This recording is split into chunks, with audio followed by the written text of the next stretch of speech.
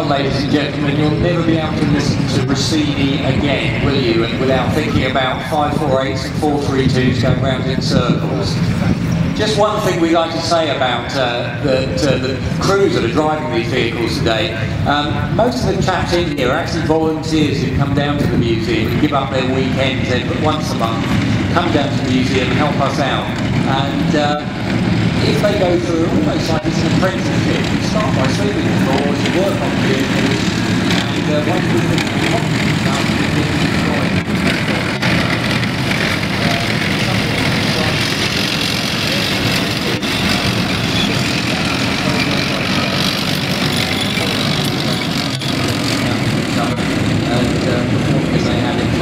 So whether Larson can go off, give them a round of applause, because uh, it takes a fair old bit of uh, thinking for practice just yet. Uh, wheels 15 ton vehicles going out in the, the right order. Very